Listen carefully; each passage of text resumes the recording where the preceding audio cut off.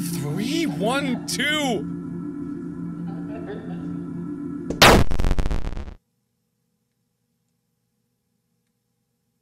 Was that the bite of 87?